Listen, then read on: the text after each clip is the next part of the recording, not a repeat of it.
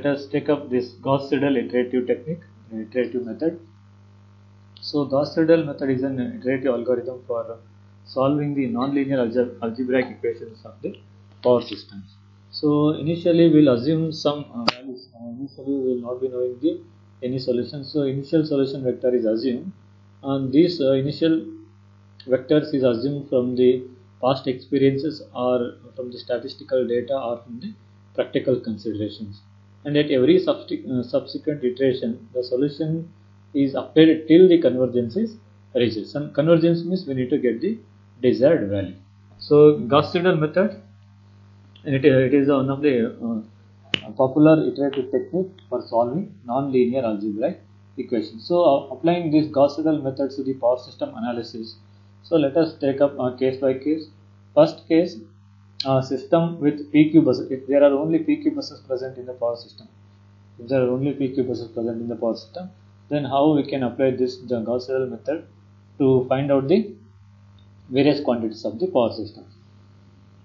So initially all the assume all the buses are uh, PQ type of buses and except uh, there will be one slack bus. So except slack bus all the buses present are PQ buses. Then that means if there are n buses in the power system if you take the slack bus as bus number 1 so your, your total number of PQ buses will be n minus 1 so for n minus 1 PQ buses for n minus 1 PQ buses the uh, we know the uh, complex power at any bus the complex power at any bus is given by SI is equal to VI into summation of j is equal to 1 to n Yij into Vj conjugate. So this equation we have studied in the power flow equations, power flow equations. So this can be written as uh, if you take the conjugate uh, uh throughout again, SI conjugate is equal to VI conjugate. Uh, here the conjugate will be cancelled. So we know that the SI is equal to PI plus JQI, but since it is a conjugate, you will get PI minus JQI. SI conjugate is equal to PI minus jqi. So we get if you substitute this here pi minus jqi this uh, vi conjugate if you take it this side left side so this will be divided pi minus jqi divided by vi conjugate is equal to summation of j is equal to 1 to n y i j into vj. So now if we expand this equation if we expand this equation if you take out the jth uh, ith bus from this uh, summation, uh, here the buses uh, lie from uh, bus uh, 1 to n. If you take out the ith bus, if you take out the ith bus, your equation will be yii vi plus summation of j is equal to 1, but j should not be equal to i because we have removed the ith bus from this equation. This summation we have removed the ith bus, we have taken outside. So j is equal to 1 to n but i should not be equal to i y i j v j. So rearranging these taking this summation to this side and uh, equating vi is equal to. So v if you equate vi is equal to it will be equal to uh, this term will be divided to all this term so 1 by yii 1 by yii into uh, pi minus jqi divided by vi conjugate. Here we have the vi conjugate minus this term will go to this side so it will become minus. So summation of j is equal to 1 to n but j should not be equal to i. Y i j into vj where i is equal to uh, uh, 2 3 up to n because bus number 1 is the slack bus. So this is the equation that we are going to use uh, when we, when we want to calculate the voltage at any particular bus any particular pq bus so now uh, we got the formula. Let us see how the how to calculate the uh, voltage at any PQ bus. Here you, this, this this is a voltage vector. If you take the magnitude and angle, you will have uh, voltage magnitude and phase angle delta. So let us see the algorithm of this GS method applicable to the PQ buses. So for the given power system, uh, the First we need to prepare the data given for the uh, system and uh, after that we need to formulate the admittance matrix that is Y bus bus admittance matrix we need to calculate by using the uh, rule of inspection. By inspection method, we need to find out the Y bus. And next next step is we need to assume the initial voltages. We need to assume the initial voltages for uh, all the PQ buses. All the PQ buses, we need to assume the initial voltages as 1.0 per unit and angle as 0 degrees. So initially we need to assume the values uh, voltage magnitude as 1 per unit, angle as 0 degrees and this assumption is referred as the flat start solution. In power system this assumption of voltage uh, is 1 at an angle of 0 is called as the flat start solution. And uh, once you assume the values we need to update all those values in uh, this equation. So for any k plus first equation, first iteration, the voltage are given by uh, the whatever the voltage equation we have derived this uh, this can be modified in order to take the multiple iterations. So vi of k plus 1th iteration is equal to 1 by yii pi minus jqi divided by vi of k into conjugate. Vi of k will be initially when you are uh, using the first, for first iteration this k value will be equal to 0 so here you will get the vi of 0 vi of 0 means it is the initially assumed value initially assumed value. Minus summation of j is equal to 1 to i minus 1 yij vj of k plus 1 so here uh, in the previous term we had i is equal to 1 to n but i should not be equal to uh, sorry j is equal to 1 to i minus 1 but i should not be equal to j should not be equal to i right?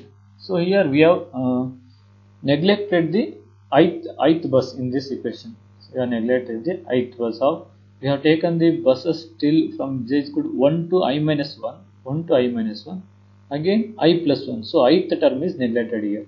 So i is equal to sorry ith bus is neglected here. J is equal to 1 to i minus 1 taken one side and before the ith bus whatever the voltage was will be known. Before the ith bus voltage values will be known. So vj of k plus 1 so vj of k plus 1 and next after the ith bus the values are not known. So j is equal to i plus 1 up to n buses. Yij into vj of k. So this is the initial uh, values we need to uh, substitute here. So this is the general expression uh, to calculate the voltage at any PQ bus uh, for any number uh, for iterative method. Next step is we need to carry out this iteration till the difference between the successive iterations should uh, should lie between the within the tolerance value within the tolerance value. So this uh, this is the tolerance symbol. So this difference between the successive iteration should be between the tolerance value. So generally it is customary to use a value of around 0.0001 uh, per unit. So 0.0001 per unit. After that uh, we need to compute this slack bus power after voltages are converged using the uh, voltage equation. So next point is uh, we need to compute all the line flows, uh, whatever the power flows through all the lines we need to compute and the complex power loss in the line. Complex power loss in the line also we need to compute that is com complex power loss in the line is given by for uh, if you take uh, consider the two buses bus i and bus k uh, complex power is uh, complex power loss is given by uh, power complex power at bus i uh, bus between bus, bus i to k plus bus k to i so the total loss in the system is calculated by summing the loss over all the lines so by using this equation we can calculate total power loss complex power loss that is PL minus JQL is equal to VL, VL, VL of conjugate uh, into summation of J is equal to 1 to N Y1 of J into Vj. So this is the algorithm for uh, calculating the bus voltages uh, when the when there are only PQ buses present in the power system let us see there are uh, PV buses also present in the power system. So when there are only PQ buses, we have seen the uh, voltage equation and the algorithm how to do the power flow analysis. Uh, when there are PV buses also included in the power system, we know that at the PV bus the magnitude uh, the quantities that are specified are power and voltage. And the quantities that we need to calculate are voltage oh, sorry uh, quantities that we need to calculate are reactive power and angle delta. So uh, the react uh, formula for reactive power um, calculation of reactive power is as follows.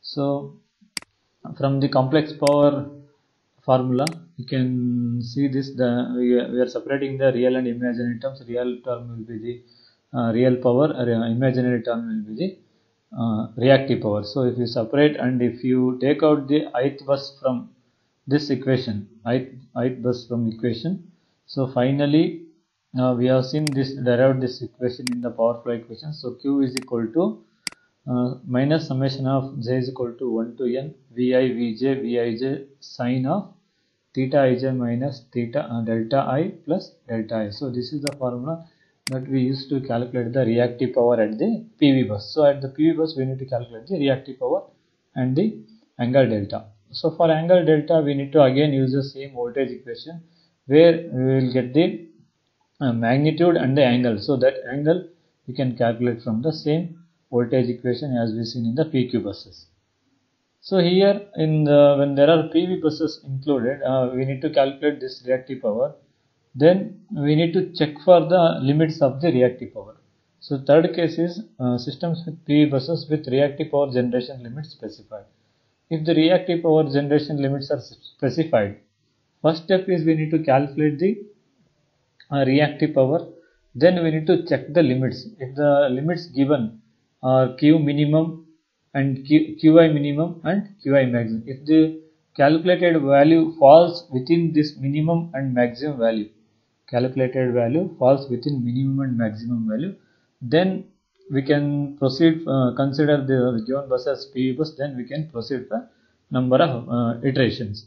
If the calculated value does not fall within these limits, if it goes beyond the limits, let us say uh, it go uh, the calculated value will be less than the QI minimum value, less than the QI minimum value.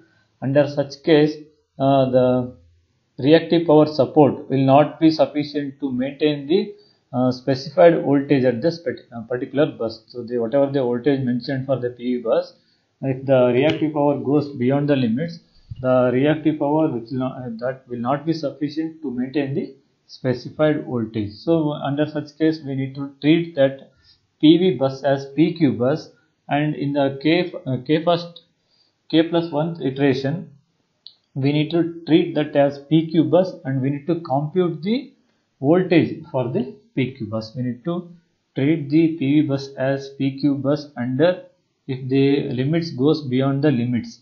So if it is less than the QI minimum then you are uh, uh, for P we will be considering it as a PQ bus. So P Q value we should take it as Qi minimum. If it is less than the Qi minimum, the Q value should be Qi minimum equal to Qi minimum. If it goes uh, greater than the maximum value, if the calculated value greater than the maximum value, then also we need to treat the PV bus as a PQ bus. Then we need to calculate the uh, voltage at the PQ bus. So here, uh, if it is greater than the maximum value, then Q value is equal to Qi max. Qi max. So uh, Um, for every iteration we need to check for the limits.